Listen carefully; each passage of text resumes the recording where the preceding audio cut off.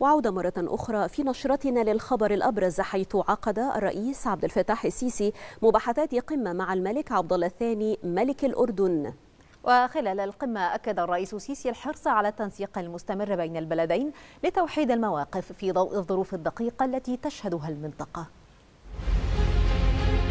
استقبل السيد الرئيس عبد الفتاح السيسي بمطار القاهرة الدولي الملك عبد الله الثاني بن الحسين ملك المملكة الأردنية الهاشمية. صرح المتحدث الرسمي باسم رئاسة الجمهورية أن الزعيمين عقدا جلسة مباحثات.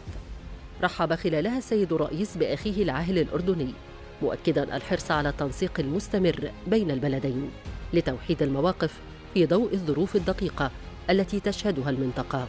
أضاف المتحدث الرسمي أن المباحثات شهدت ترحيب الزعيمين بالهدنة الإنسانية المعلنة في قطاع غزة وتأكيد الجانبين لرؤيتهما المشتركة. إزاء ضرورة استمرار العمل المكثف للتوصل إلى وقف دائم لإطلاق النار وإتاحة المجال لنفاذ المساعدات الإنسانية الكافية لأهالي القطاع دون إبطاء. وذلك تجسيدا للتوافق الدولي والمتمثل في قراري مجلس الأمن الدولي والجمعية العامة للأمم المتحدة ذوي الصلة مع رفض سياسات التجويع والعقاب الجماعي للشعب الفلسطيني. وكذا تأكيد رفض الدولتين التام لأي محاولات لتهجير أهالي القطاع داخل أو خارج غزة.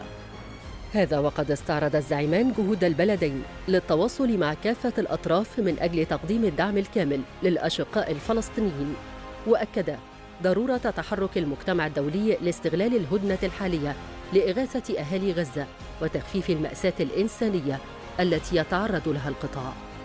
كما أكد الزعيمان أن أي جهود لاستعادة الاستقرار في المنطقة يجب أن تستند إلى إطلاق عملية سياسية متكاملة بهدف الوصول إلى تسوية شاملة وعادلة للقضية الفلسطينية. من خلال حل الدولتين وحصول الجانب الفلسطيني على حقوقه المشروعة وعلى رأسها دولة مستقلة وعاصمتها القدس الشرقية. هذا وقد غادر جلالة ملك الأردن عقب انتهاء المباحثات.